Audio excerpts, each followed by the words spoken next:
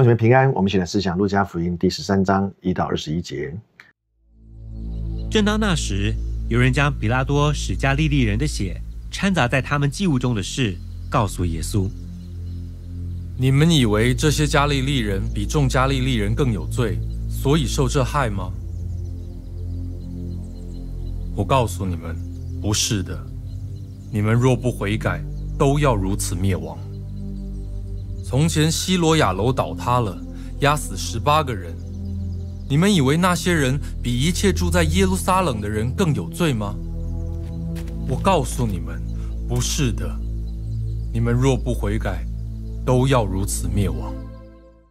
当耶稣正在跟门徒教训的时候，并且提醒大家，我就要往耶路撒冷的路上了，所以要赶快啊分辨，这是一个最后关键的时刻了，不要再拒绝福音，也不要再啊假冒为善。不承认自己生命罪恶的光景，要赶快啊竭力的来啊面对我的福音啊，不然到时候官府会向你追讨你所欠的每一份的罪债哈。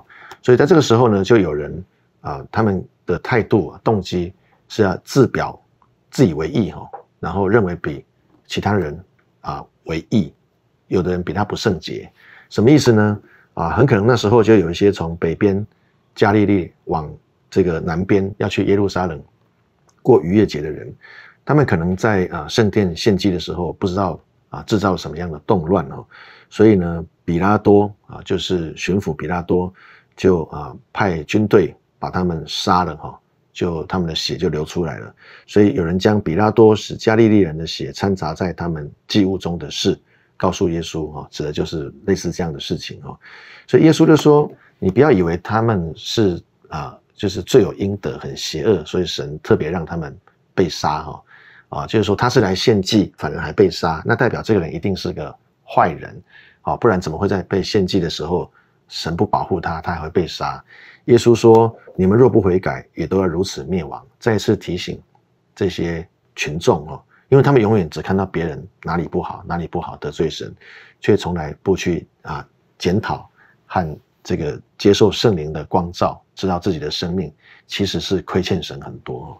第四节，从前希罗亚楼倒塌，压死十八个人，你们以为那些人比一切住在耶路撒冷的人更有罪吗？我告诉你们，不是的。你们若不悔改，都要如此灭亡。耶稣又举了另外一个例例子，之前在希罗亚池附近有一有一座建筑物，它倒塌了，压死了十八个人。耶稣说，这些人也没有比其他住在耶路撒冷的人更罪恶啊！哦，神若就查罪孽起来，你们也都会灭亡。因此啊，今天这个部分的经文提醒我们，很多人他看起来是被公义审判的，不是因为我们比他有义，实在是因为神还没有就查我们的罪孽。神若就查我们的罪孽，我们跟他们的下场是一样的。因此，不要自以为意，反而要接受圣灵的光照，在主的面前诚实悔改。于是用比喻说：一个人有一棵无花果树栽在葡萄园里，他来到树前找果子，却找不着，就对管园的说：“看呐，我这三年来到这无花果树前找果子，竟找不着。”把它砍了吧，何必白占地土呢？管园的说：“主啊，今年且留着，等我周围掘开土，加上粪，以后若结果子便罢，不然再把它砍了。”啊，其实那时候的葡萄园里面，除了种葡萄之外，啊，都还会种其他的一些果树。啊，这边就说有一棵无花果树是种在葡萄园里。其实不论是无花果树还是葡萄树。在旧约圣经里面，常常代表的就是以色列百姓。然后呢，啊，这个人，这个主人，他就来到树前，无花果树前要找果子，却找不着。他就对管园子的管家说：“看呐，我这三年来都来到这无花果树的面前，要找有没有果子，这三年竟都找不着，把它砍了吧，何必让它白占地土呢？”管园的说：“主啊，今年且留着，等我周围掘开土，加上粪，以后若结果子便罢，不然再把它砍了。”耶稣将要靠近耶路撒冷，他再一次的提醒以色列百姓：如果继续拒绝神的救恩，那你们就是白占地图。上帝对你们容忍已经太久了，你们如果继续在神面前刚硬不悔改，神就要把你们砍了哦。啊，这个信息之前施洗约翰也讲过。然后呢，代表说，如果以色列人继续拒绝救恩，这救恩将临到外邦人。路加福音不断的告诉我们，耶稣基督所带来的福音是关乎万民的。之前耶稣在拿撒勒会堂啊讲道的时候，看见拿撒勒的乡亲心硬不肯悔改，他也是讲一样的比喻。他说，以前啊，在以利亚跟以利沙的时代，因为以色列本国人对神刚硬不悔改，神就把医治的工作跟洁净大麻风的工作，啊，还有这个啊使人不饿死的工作，都施行在愿意悔改的外邦人身上。所以耶稣在这边再一次举一样的例子哈。但是呢，有一个管那个管园子的管家，他恳求主再给这一棵不结果子的无花果树一年的机会，他想办法施肥，救救看他有没有救。代表怎么样？耶稣仍然在规劝以色列百姓：上帝愿意怜悯你们，你们赶快悔改。安息日，耶稣在会堂里教训人。有一个女人被鬼附着，病了十八年，腰弯得一点直不起来。耶稣看见，便叫过她来。女人。你脱离这病了。于是用两只手按着他，他立刻直起腰来，就归荣耀于神。管会堂的因为耶稣在安息日治病，就气愤愤的对众人说：“有六日应当做工，那六日之内可以来求医，在安息日却不可。”耶稣再一次在安息日医治那个一个十八年都腰都挺不直的一个妇女，那他会啊这样是因为鬼所造成的哈。那很很显然，耶稣在安息日做医治的工作，法利赛人或是其他宗教人士一定很气愤，要起来抗议的。果然十四节管会堂的，因为耶稣在安息日治病，就气愤愤地对众人说：有六日应当做工。那六日之内可以来求医治啊，在安息日却不可。管会堂的人认为怎么样？耶稣是故意来找茬，因为你明明可以，时间还很多啊，你可以在非安息日医治那个女人的疾病嘛，把她的鬼赶走。你为什么故意要挑战安息日，然后来做这个这样的事情？哦，你今天不医他，他也不会死啊，你不能明天再医他吗？你是故意挑战守安息日的问题哦。假冒为善的人呐！难道你们个人在安息日不解开槽上的牛、驴，牵去印吗？况且这女人本是亚伯拉罕的后裔，被撒旦捆绑了这十八年，不当在安息日解开她的绑吗？耶稣说这话，他的敌人都惭愧了。众人因他所行一切荣耀的事，就都欢喜了。我们看见有两种强烈的对比，哈，就是那个被医治的人以及他周遭的啊亲朋好友，为他感到欢喜快乐，把荣耀归给神；但另外一边却是宗教的领袖、管会堂这些人，他们却气愤愤认为耶稣不遵守安息日的规则，怎么可以在安息日医治一个人的病呢？哦，耶稣就说：你们很假冒为善，你们的这个拉比有为你们解说，说在安息日是可以解开。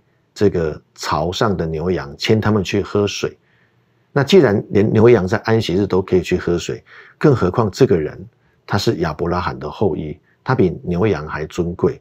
而这个这个亚伯拉罕的后裔，他被捆绑了，一捆绑就捆绑了十八年，而且是被撒旦捆绑。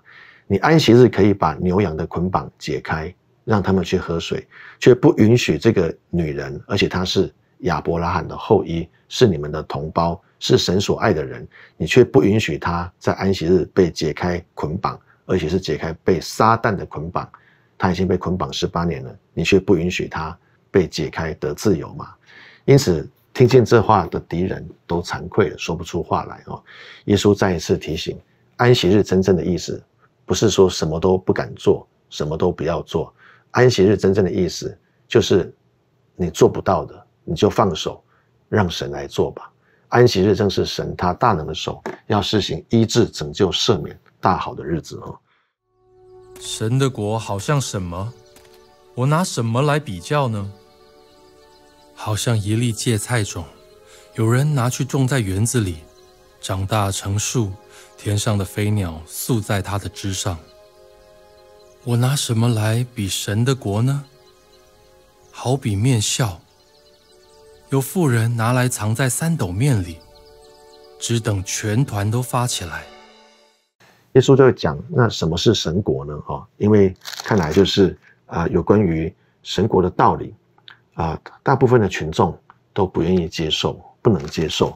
因此，耶稣说，神国像什么？一开始看起来微不足道，大家并不重视它。啊，芥菜种啊，是以色列那个地方最小的一种种子。但是呢，它被拿去栽种在园子里，长大起来之后，它会变成啊这个非常高大的一个植物哈，连天上的飞鸟都可以停歇在它的枝头上哦。因此，耶稣主要是讲说，神国的道理，现在你们听起来，你们觉得微不足道，没有分量。但是当整个神国它发展起来了，神国的道越越多的彰显它的。救恩的荣耀跟能力的时候，那时候啊，连飞鸟都可以在它上面休息。因此，不要小看神国的道。二十节他又说：“我拿什么来比神国呢？好像面笑，有妇人拿来藏在三斗三斗面里，只等到全团都发起来。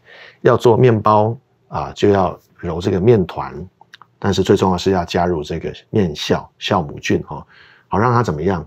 它可以发酵，就可以膨胀，然后呢，就做成啊这些面包。三斗面其实是蛮多的哈，因为一斗就是七公斤，三斗是二十一公斤的面团，二十一公斤的面团非常重，让它在发酵膨胀的更大，你就知道它可以做多少的面包，喂饱多少人。他的意思是说，神果很像是那个小小的面酵，当它整个啊。这个发起来的时候，它会影响整个国，这个整个百接受的百姓，好，整个变成非常庞大的一团啊，可以喂饱很多人。其实这边两个例子都在意思都是在指，现在耶稣讲这些神国的道理，你们都觉得它不起眼，没有价值。但是当神国的真理开始扎根在人的生命里面，扎根在地上接受它的族群里面的时候，它就会迅速的发展，到后来产生爆炸性的力量，影响全团，让全团都被它改变命运、改变方向。因此，不要小看神国的道理，应该谦卑的接受它。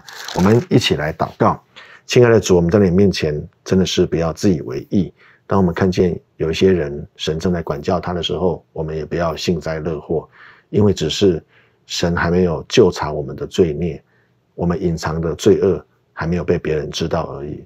恳求主，让我们看见，当有人被神管教的时候，我们也赶快来警戒自己，让我们的心回转归到主的面前。有时候我们会认为神国的道理很像稀松平常，但是当我们愿意领受神国的真理的时候，它在我们生命里面以及在群体当中所要产生的爆炸力是非常惊人的，会影响全体，会影响整团的命运和结局。谢谢主，奉耶稣基督的名祷告，阿门。愿神赐福大家。